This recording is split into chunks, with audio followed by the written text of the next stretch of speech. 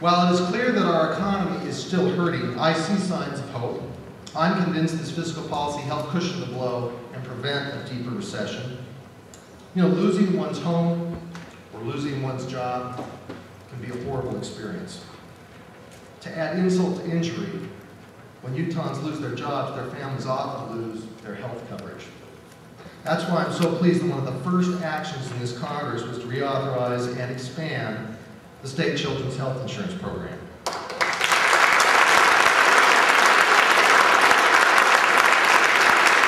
Seems pretty straightforward that caring for kids is the right thing to do, but um, and this successful program will now help even more low-income children. Working parents provide health insurance to their children, 10 million of them nationwide. You know, twice the previous White House blocked this action. So again, what a difference a year makes.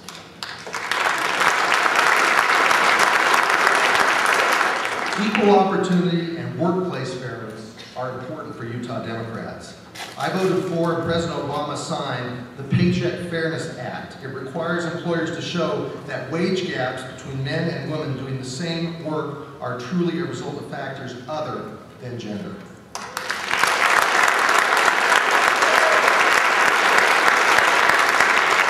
I also supported the bill that went through the House of Representatives, the Lilly Ledbetter Fair Pay Act, a bill to restore discrimination. Again, what a difference a year makes. Congress passed and the President signed a credit card holder's Bill of Rights. It seeks to end what the Federal Reserve has declared are unfair, deceptive, and anti-competitive practices that have become far too commonplace in the credit card industry.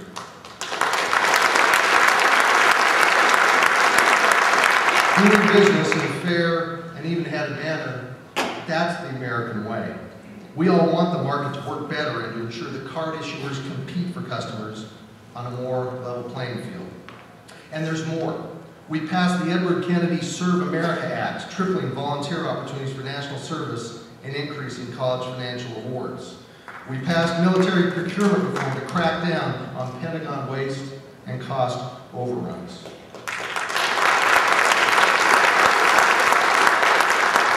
We've increased funding for veterans' health care and helped military families harmed by the housing crisis.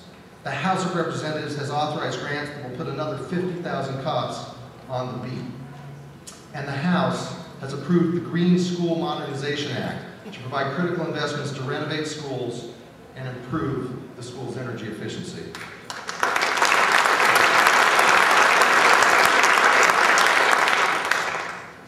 And if I can take a second, I want to report progress on a couple of my personal priorities. Congress passed and the President signed a major collection of public lands bills that includes the bipartisan Washington County Growth and Conservation Act.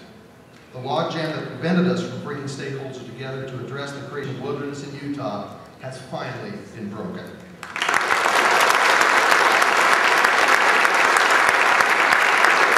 And in its place, we have a new model of inclusion cooperation, and hopefully we'll see additional bills in the future.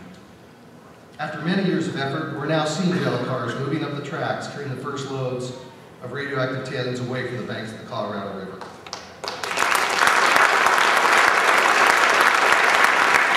For 25 years, it threatened Moab's health and safety and the safety of millions of water users downstream.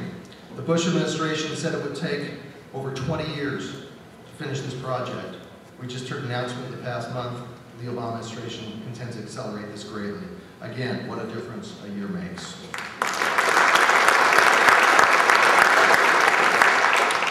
We have 80 bipartisan co-sponsors who signed onto my bill to ban the ludicrous proposal to bring in the world's radioactive waste to one of the few disposal sites we have for America's radioactive waste.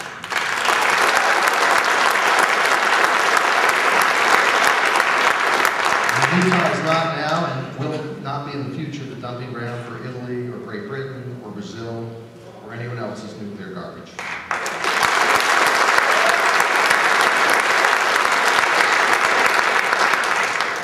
For all I've said, for all the accomplishments in these first few months, and for all the difference a year makes, we know the agenda ahead of us is ambitious.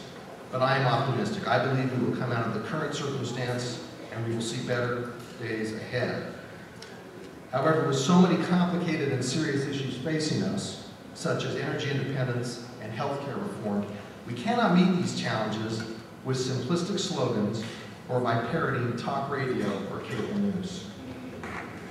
I know the Utah Democrats are the party of good ideas, and we need to work harder than ever to put those good ideas to work on behalf of Utahns. This year, as in past years, we need to act in the best interest of the people who elect us. I've told you many times, I speak in front of lots of groups and say this, elections really matter. It matters who's in office, they make decisions that affect our lives in so many ways. And an important election is taking place here today. And that is why I'm supporting my friend Wayne Holland for Utah Democratic Chair.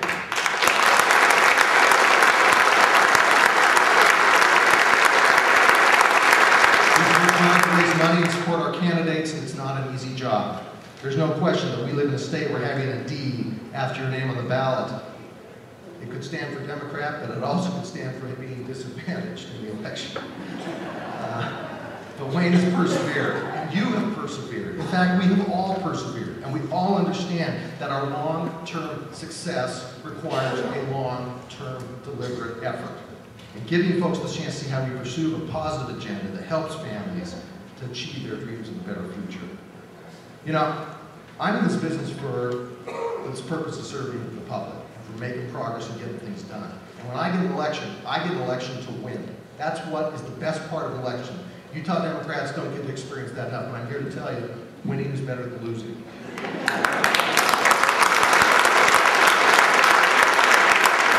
And all of you have been very helpful in contributing to that success. You have helped me become a better candidate, and you've helped me become a better congressman. And my pledge to you is that I will always take that, the role of being a hardworking candidate seriously, in whatever I do.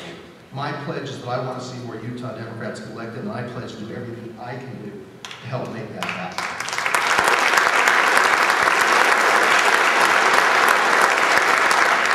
I said what a difference a year makes. Let's be committed to see how much more difference we can make in the next election. Thank you very much.